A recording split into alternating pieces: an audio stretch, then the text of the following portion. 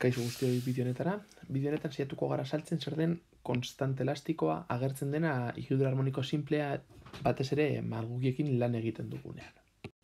Konstante elastikoa zer den ulertzeko, bueno, e, galdera bat botako dizuet. Zerk baldintzatzen du igidura harmoniko simple baten abiadura. Hau da, zerk egiten du, eta joan gara beti malguki horizontalaren kasuan, zerk egiten du malgukia askar oso askar mugitzea edo astiro mugitzea. Azkenean, hau da gure posizioaren adierazpen matematikoa, hemen barrukoa fasea askar mugitzen bada, sinu askar mugituko da, hau da, sinu azkenean da, hau bezalako funtzio bat, sinu horrek egin dezakena da, suabe mugitu eta denbora izatea muturretara heltzeko, edo bestate batetik, osilatu dezake askartasun handiarekin. Horrek, e, zer baldintzatzen du? Abiaduran geluarra. Abiaduran geluarra handia denean, osilazio asko agertuko zizkigu, bai?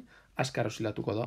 Azkenean, gaiurrak eta mena agertzen diren aranak, gaiur bakoitzean izango da, noiz helduko den malgukia e, mutur batera. Beraz, mutur asko agertzen direnean, horrek esan nahi du, osilazio asko egiten dituela gure malgukiak. Bestaldetik, abiadoran geluarra txikia denean, osilazioak txikitzen dira eta denbora tarte berdinean, honek eman baditu, ez dakit zei zazpi, honek bat terdi bi egiten ditu. Beraz, zenbat eta omega handiagoa izan, orduan eta abiadura eta abiadura e, jartzen dut, zenan, e, askarrago e, osilazio gehiago izango ditu, ezta? Eta omega txikia denean, ba, osilazio kantitate hori txikituko da, zergaitik muturretara heltzeko behar duelako denbora gehiago. Eta orain urrengo galdera. Hau bada gure abiadura nola bait baldintzatzen duena, zelan lortu esakegu hau handia edo txikia izatea? Bale, esan dugu nahi dugula jakite hau noiz egin daiteken txikiago edo handiagoa. Hau da, adierazpen nagusia e, aplikatzen dela gure malguki horizontaletan. Abiaduran geluarra, neurtzen da, segundu bir minus bat unitatetan. Zergaitik radian zati segundu eta radiana dimentsionala izanez, e, bueno, ba, segundu bir minus bat unitatetan neurtzen da abiaduran geluarra. Eta honen balio izango da errokarratu K satieme. K izango da malgukiak daukan propietate bat. Eta deitzen da konstante elastikoa. Eta neurtzen da Newton satimetrotan. Vale? Zenbaki bat. Eta da malgukiak daukana. Egongo dira malguki gogorrak eta horren gogorrak ez direnak. Zenbat eta gogorragoa izan malgukia orduan eta K handiagoa. Bueno, juken legea, adizaten diguna da malgukiak. Gorputxonen gainean egingo duen indarra, izango dela minus K izan. Vale? Hau, e, hau guztia da, nolabait erabiltzen dena lortzeko gero A sinu omega T e, funtzioa. Baina honetan honetan dago oinarrituta. Honek esan nahi duguna da malgukiak masari egingo dion indar da zenbat eta urrunago, hau da zenbat eta gehiago luzatu gure malgukia, orduan eta indar handiago egingo diola. Baina baita ere K agertzen da.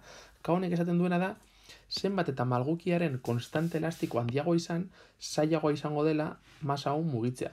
Ba, zuek imaginatu buruan hartu bi malguki eta egongo dira malguki batzuk bere propietateengatik oso gogorrak izango direnak eta mugitzea oso zaila izango direnak eta beste batzuk oso errez e, deformatzen direnak. Vale. Zenbat eta ka handiago orduan eta e, zailago izango da mugitzea. Eta bestetik objektuaren masa ez da berdina izango hemen jartzea e, pelota txiki bat edo pelota oso handi bat oso masaduna dena, ezta? Gauzak masa handiko gauzak mugitzeko, ba zailtasun izaten dugu. Gogoratu airearen marruskadura eta lurraren marruskadura zero direla. Ez daukatela inolako eraginik, eh?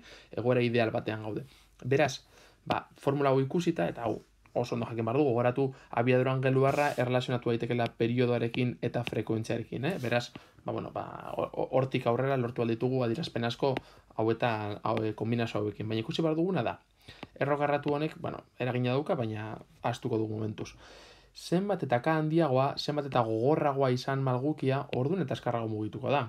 Zergaitik, indar handiagoa egiten badio urruntzen diogunean, harinago ekarriko dugu oreka posiziora, beraz, zenbat eta indartsuago izan malgukia kostatuko zaigu mugitzea, baina gero hasiko da osilatzen asko ere askarrago. Aldiz, hau harina bada, erraz mugituko dugu, baina nola ez dion, indarraskorik egingo, ba, mugituko da, astiroago. Eta bestetik mazaren, orain komentatu duguna. Imaginatu bi malguki berdin, eta batean jartzen dugu pelota txiki, eta bestean pelota handia. Ba, pelota handia, atxerara mateko, saia egingo zaigu, zergaitik, ba, masan mugitzea, saia delako. Orduan, ba, masa handi hori astiroago mugituko da. Aldiz, masa txikia asko sarinago mugituko du. Beraz, abiadura angeluarraren baldintzatzaileak dira batetik malgukiaren konstante elastikoa eta bestetik jartzen diogun e, ba, objetuaren masa eta horrekin lortu dezakegu. Ariketa batzuetan emango dizuete K eta M, hortik aurrera omega lortzeko eta gero ja adierazpen nagusian sartzeko.